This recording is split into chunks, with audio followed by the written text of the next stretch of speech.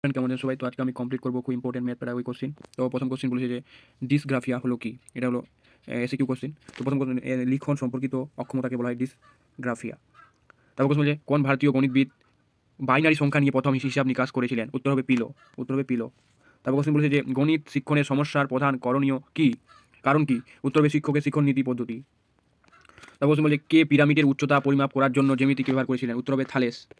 Thales তারপর question বলেছে যে, গণিত শিক্ষা ক্ষেত্রে কোন পদ্ধতিতে যতটা সম্ভব কম ব্যবহার করা উচিত বক্তৃতা পদ্ধতি? উত্তরে বক্তৃতা পদ্ধতিটা গণিত ক্ষেত্রে, গণিত শিক্ষার ক্ষেত্রে খুব কম প্রয়োজন লাগে। লাগে না বললেই চলে।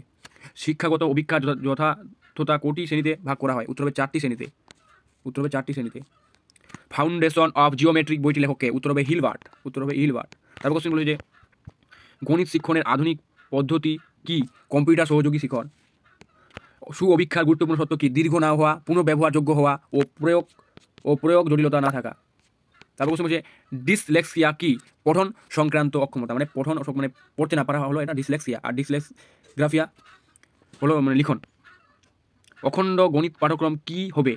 অখণ্ড গণিত পাঠ্যক্রম হবে? সংখ্যা সম্পর্কে ধারণা, সমীকরণ ও লেখচিত্র সম্পর্কে ধারণা, চিহ্নের ব্যবহার সম্পর্কে ধারণা।